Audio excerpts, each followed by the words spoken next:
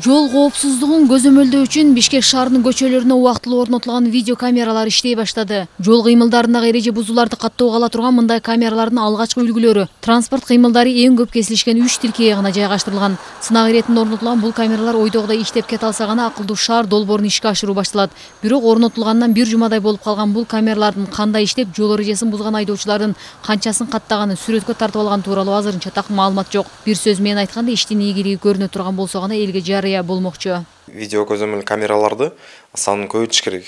Көбөйтүп анан ошол эл эл арасында маалыматты разъяснительный түшүндүрүү иштерди жүргүзүш керек да. Мындай камералар орнотулган эмесе эми жол эрежени бузбагыла түшүндүрүү иштерин жүргүзүп и конечно ал дагы законодательный база деп айтылат. Нормативный правовой базаны күчөтүш керек. Именно ошол штраф өндүрүү маселесин караш керек да. Өнүккөн өлкөлөр эле эмес жакынкы кошуналарда да коопсуздукту сактоого болгон аракеттер ичак эле көрүлүп маселе жолго коюлган. Ал тургай казакстанда видео байкоолор аркылуу жол кырсыктарынын санын азайтууга кылмыштуулук менен күрөштө натыйжаларын көрө баштаптыр. Мына биз керек болсо коңшулаш мамлекеттерден да калдык да бул боюнча.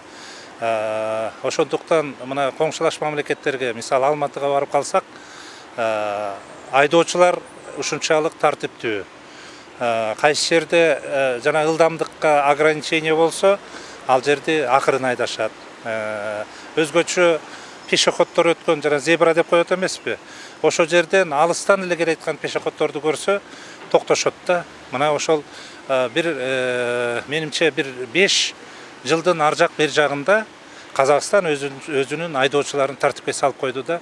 Бишкек шаарына башталган долбоорду азырынча шаардык мэрия ишке ашырууда. Маалыматтарга ылайык мындан түшкөн айыппулдар шаардык жана республикалык бюджетке ички иштер тармагына бөлүштүрүлөөрү каралып жатыптыр. Ал эми эреже бузган жайдагы жагдайды видеого тартып алуучу система автоматтык түрдө ишке ашырып адам фактору эч кандай аралашпайт. Фото видео көзөмөлгө алуу сөзсүз түрдө оң жактарын берет себеп дегенде биринчиден жаңы технология экинчиден бул жерден баягы жол эрежелерин бузуулардын баягы көзөмөлгө алуу ошол эле убакта кылмыштардын болушун көзөмөлгө алуу жол кырсыгы болгон учурда ким кандай жол эрежесин бузганы тууралуу ачык маалыматтардын баарын ошол жерден алса болот акунбаев менен байтик баатыр анкара менен байтик баатыр жана фрунзе менен ибраимов көчөлөрүнүн кесилишине орнотулган камералардын баары атайын жабдуу аркылуу башкарылат. Эми демилгечилер үч камера менен чектелбей жумушту ылдамдатып камералардын санын көбөйтсө гана натыйжалар байкалат дешет. Мэриянын маалыматы боюнча именно отуз аварийный участок бар. Именно ошол менин оюмча отуз аварийный участокторго дагы орнотуш керек. Камералардан сырткары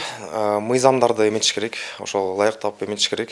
Жол кыймылынын коопсуздугун көзөмөлдөөчүлөр унааларга байкоо салган камераларды орнотуу иштерин борбор кала менен чектелбей башка район шаарларга ири жол каттамдарына да жайгаштырууну колго алуу керек деген ойдо себеби көбүн эсе бишкек ош бишкек чолпон ата өңдүү да ылдамдыкты ашыра айдагандыктан жана эрежелерди сактабаганын кесепетинен кырсыктар көп белгилүү ислам майрамбеков нью тв